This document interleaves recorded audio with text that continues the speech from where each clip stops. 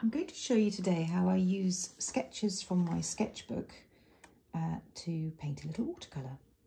So these are my sketches, figures and dogs on a beach. Very simple. No real outlines, really just hatching. And this is the one I've decided we're going to do. I'm not going to put the figure in, I'm just going to concentrate on the dogs. We're just going to do dogs.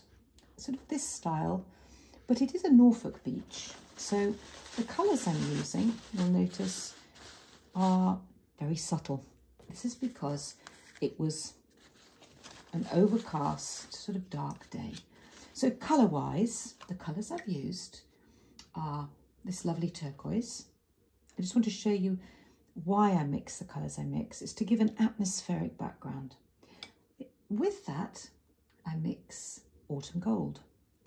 And this together gives you this gorgeous kind of greeny, grey, turquoisey. It's a lovely, lovely colour.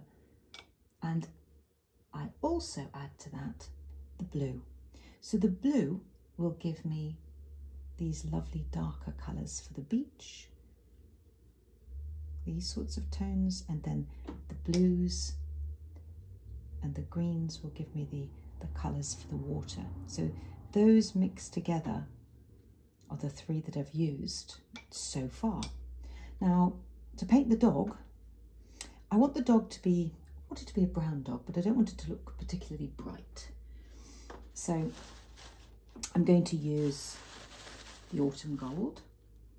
I'm using my pointer brush because it's fairly small. So autumn gold. I'm going to use a little bit of the ultramarine blue.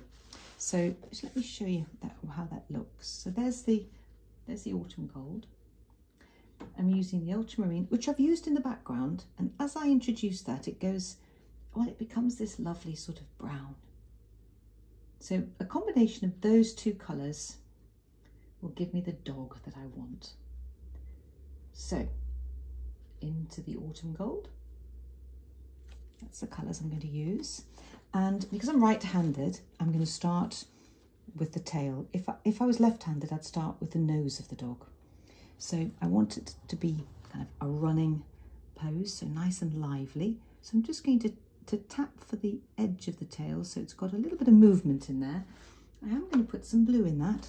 I want it to be just a little bit darker. Uh, this back leg, sort of here. You'll notice I don't do an outline and then colour it in. I do it in a whole section back into this nice autumn gold colour. And those colours will mix on the paper. I don't want this to look like just one colour all over. I want it to look a little bit more interesting. So looking at my sketch, a little bit of movement in this. I don't, I, I, I kind of want it to look almost a little bit wobbly. I don't want it to look too neat because the dog's running.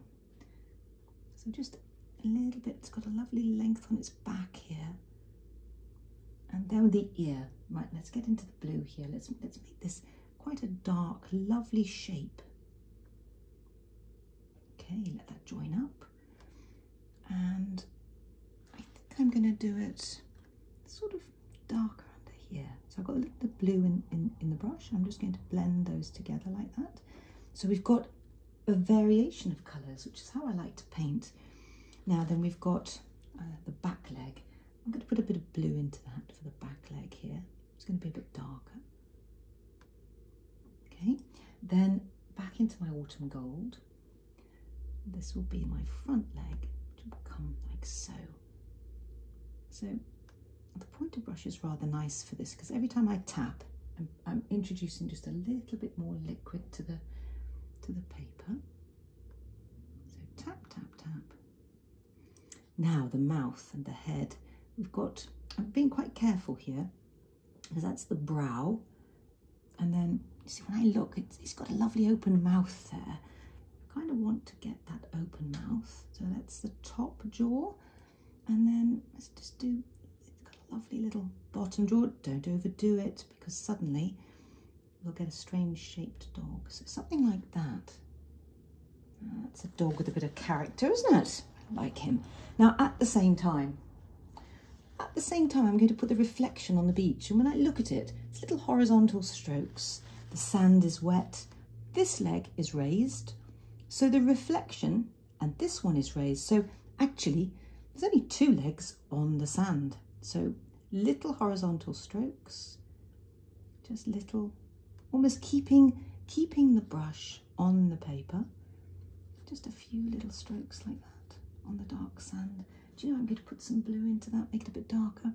Then we've got a little bit here on the beach look, where this, this little shadow, it's actually reflections in the water. It's not a shadow, it's not sunny. Now, just a few, and then we've got a little bit here, look. It's just a stroke perhaps, and then maybe just, just a tiny little bit like so. And then a few more. And I'm moving the brush backwards and forwards to give the impression it's where the tail is. And it's kind of a backwards and forwards stroke like this just about there. And then I'm going to put some blue in because I kind of feel like it needs to be darker. So let's drop in the blue it's still wet look it's still wet yeah like that okay there we are running dog on beach so I've used my sketch. I've done it in this sort of style. So there's a little bit of a shine on this. This sort of style, looking at the simple shapes from my sketchbook. Very simple, using the colours I've already used within the painting. Ever so easy. Have a go.